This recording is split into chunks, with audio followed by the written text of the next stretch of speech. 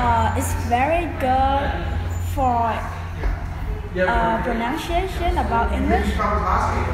Uh, I, it's very funny and make me feeling so good I thought it was very great. Uh, got a lot of people together, got some fellow colleagues out also, other teachers from Britain, America, and Philippines, uh, IELTS teachers.